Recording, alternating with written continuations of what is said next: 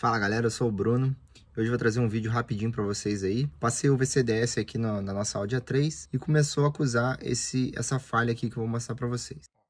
Falha 18034 Powertrain Data Bus. Bom, pessoal, essa falha é ocasionada devido ao swap de câmbio que a gente fez, que a gente passou de automático para manual, e faltou informar aqui no módulo Engine que o motor agora passa a ser câmbio manual, né, é, e não automático. Eu vou mostrar para vocês aí o passo a passo como que a gente muda aí essa informação para eliminar essa falha. VCDS ligado no carro, a chave do carro tá virada lá, o painel aceso. E aqui, ó, no módulo Engine, tá lendo o módulo, eu venho aqui, ó, fault codes. Então, ó, tá indicando a falha aqui, ó.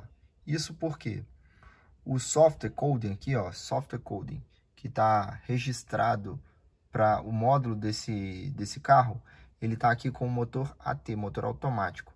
Então, a gente vai mudar isso daí para o software 4000, que é esse códigozinho aqui, ó. Então, para isso a gente vai aqui em Recode. Aqui onde está 4030, a gente vai mudar para 4000. Você vem aqui em Do It. E pronto, ó. Já foi alterado. Agora eu posso vir aqui, ó, Fault Codes. E, ó, já não tem mais a falha, ó. Vou dar partida aqui no veículo.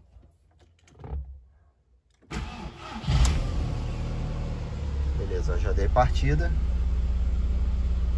Vou voltar aqui mais uma vez. Fault Codes já não tem mais a falha. É isso aí, galera. Videozinho curtinho aqui pro canal. Se você tiver alguma dúvida, manda aí nos comentários aqui desse vídeo, que a gente vai responder aí para vocês o mais rápido possível. Aquele abraço, até a próxima.